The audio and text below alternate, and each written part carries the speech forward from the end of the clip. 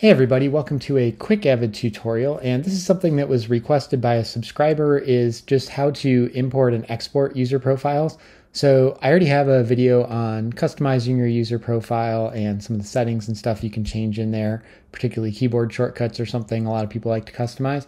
But after you've done that, you may not be sure, okay, how do I get these user settings onto another Avid system if I'm switching computers or working in a lab, or maybe you're freelance using different systems day to day and you want to just bring your user settings with you. So I'm just going to go through that really quickly. It's very straightforward. I'm going to bring up my settings, Command comma on a Mac. And you have your format, project, user, site tabs on the top here as always. I'm going to go to the user tab and here's where you can see my user profile and see what user settings you're currently using. By the way, if you wanted to change to a different set of user settings, this is where you would go here. So I have a different set called mkarens and I can switch to that one. And you'll see some of my view stuff changed by default when I did that. So let me go back to my current user settings. Okay, and let's say these are the ones that I would like to move to another computer. Well, it's very simple. I just have to go to export user or user profile. And you'll see we have a few different options here. I'll be honest, I'm not a super expert on these types, and these first two have to do with if you're working in a network environment with shared user profiles where it might be stored on a server and accessed from multiple places. I'm personally not experienced enough in that type of environment to feel comfortable giving you good advice there. So I'll say you could read these descriptions and see what you think they do. But if you're in a shared environment, I might talk with somebody who has experience working with user profiles in a shared network environment. I always am just working off of local computers.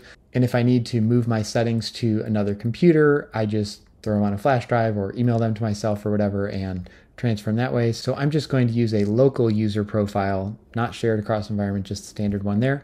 The other thing you need to do is set where this is going to be exported to. And I'll just throw mine on my desktop. Okay, and that has been exported. And you'll notice up here nothing has changed. I still have those same options I did. But if I open up a Finder window and go to my desktop, you can see here's this folder it's created. And inside there's just two files. There's this XML file with my settings and then the AVE file with the rest of my user profile. So that's how I got that exported. I could throw that onto a flash drive or something if I want to move it to another computer.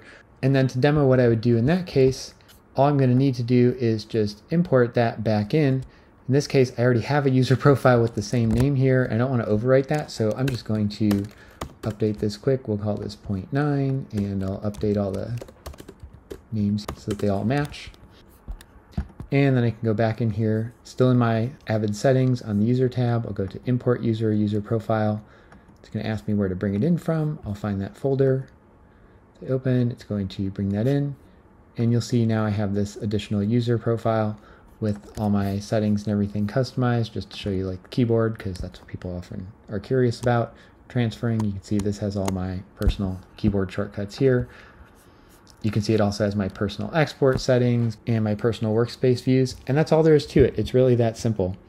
If for some reason you don't want to go through that export option, you can do this reveal user profile, and it'll show you where your user profile is. So here's the one we're using. And you can see it's got a couple of additional things on here, but here's those settings in .ave file.